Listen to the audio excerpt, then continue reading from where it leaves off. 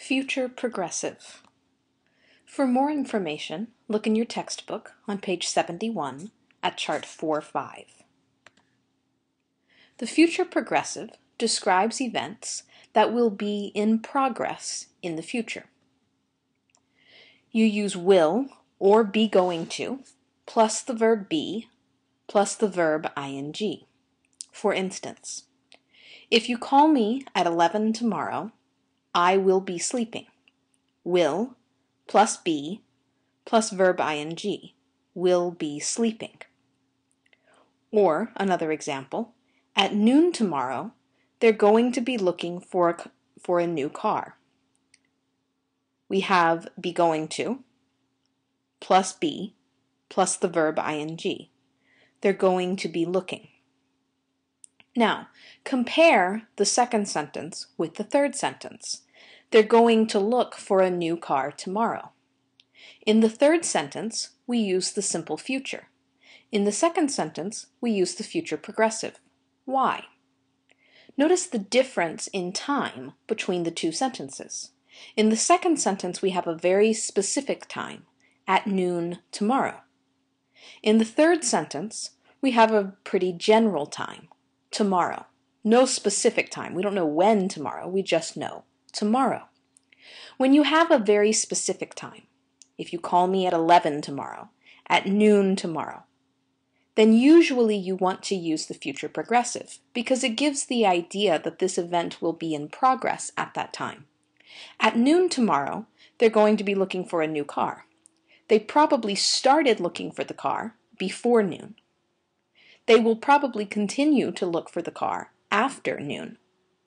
But definitely at noon tomorrow, that event will be in progress. Whereas, they're going to look for a new car tomorrow is an event that will begin and end tomorrow. There is no specific time, so the event isn't going to be in progress tomorrow. It's just going to happen tomorrow. Do you understand the difference? With a very specific time, you often use future progressive, but with a more general, indefinite time, you just want to use the simple future. Often, the future progressive and the simple future are not that different, especially when you're talking about an indefinite time. When there's no real specific time in the future, a lot of times it doesn't matter which one you use. For instance, a conversation between these two people. One person says, I'm so hungry, and the other person says, We'll be eating soon.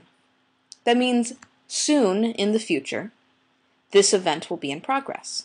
But you could also say, I'm so hungry, and the response would be, We'll eat soon. Doesn't change the meaning at all, really. Both mean exactly the same thing. The idea here, though, is that we don't have a specific time in the future. We know that this event will happen in the future, but we don't have a very specific time. We just know soon. And when we don't have a specific time in the future, we often just use the simple future. Now it's your turn. Read the following sentences and decide what tense you need to use.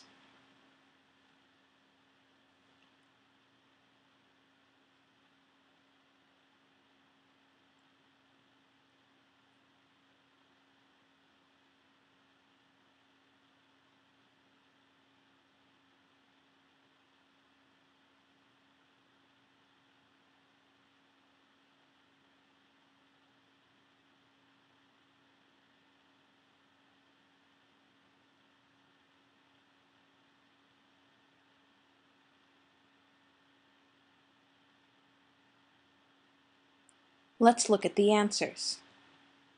For the first one, Nick and Jess, we could say will be driving, or we could say are going to be driving.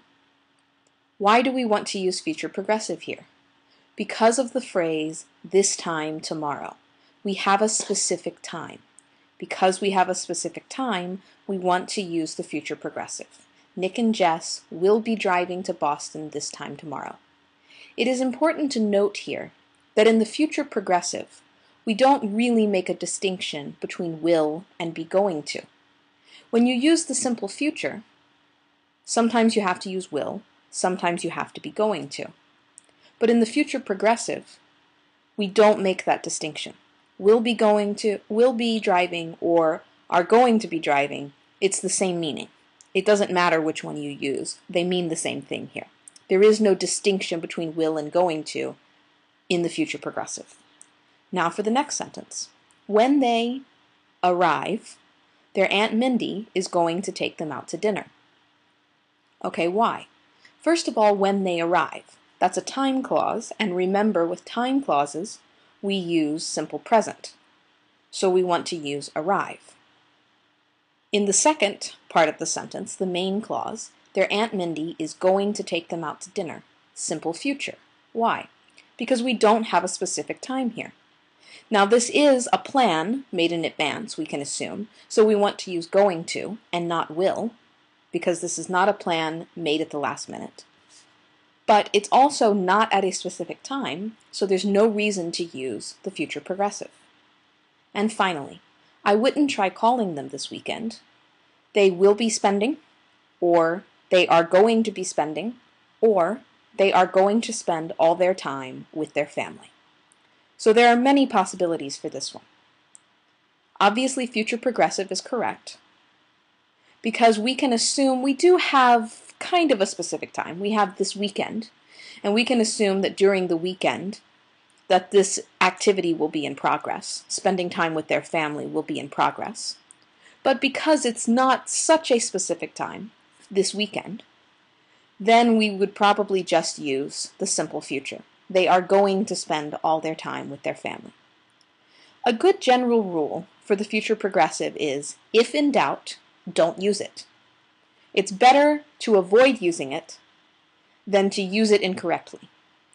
So if you're not sure if you should use the simple future or the future progressive, then use the simple future. Usually it's very clear when you want to use the future progressive.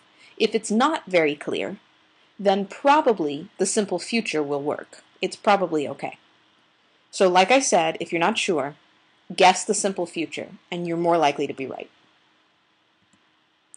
For more practice, turn in your book and do exercise 22 on page 72 and exercise 23 on the same page.